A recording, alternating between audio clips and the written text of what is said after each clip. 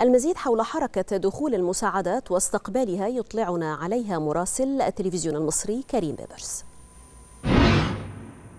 تحياتي لكم وتحياتي لجميع السادة المشاهدين من أمام بوابة معبر رفح المصرية. ننقل لكم الصورة الخاصة بإدخال المساعدات الإغاثية إلى الأشقاء في قطاع غزة. بالطبع هذه المساعدات من مواد غذائية ومستلزمات طبية تصطف على جانبي الطريق في رفح والشيخ زويد والعريش. من أمام بوابة رفح سنستعرض لكم الآن هذه يعني الشاحنات المتواجدة والتي يتم إدخالها إلى الأشقاء في قطاع غزة. هذه الشاحنات بالطبع من مواد غذائية مستلزمات طبية وغيرها من المواد الإعاشية المختلفة مثل الخيام. بالطبع هناك أيضا بعض هذه الشحنات التي تأتي عبر مطار العريش الدولي. هذه الشاحنات أيضا محملة بعدد كبير من الأطنان الخاصة بالمواد المستخدمة للأطفال وللقطاع الصحي وغيرها من المواد الإعاشية للأشقاء في قطاع غزة. نتحدث عن مئات الشاحنات التي تدخل يوميا عبر بوابة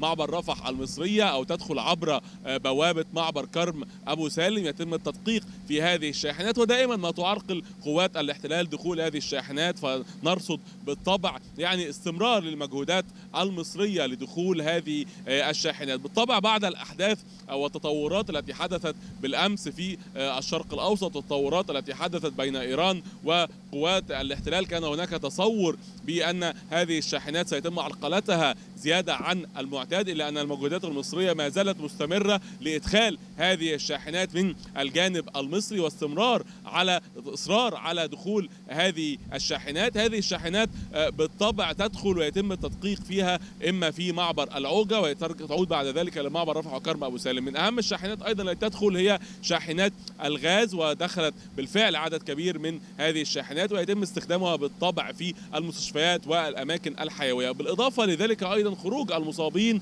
ليتلقوا العلاج في المستشفيات المصرية فيخرج أيضا متوسطات يومية ما بين 15 إلى 30 مصابا تقريبا يوميا يخرجون ليتلقوا العلاج في مستشفيات العريش وبئر العبد وغيرها من المستشفيات التي حددتها وزارة الصحة فضلا عن المجهودات الدبلوماسية من الناحية المصرية للوصول لوقف دائم ومستدام لإطلاق النار. وكانت هذه هي الصورة من أمام بوابة معبر رفح المصرية.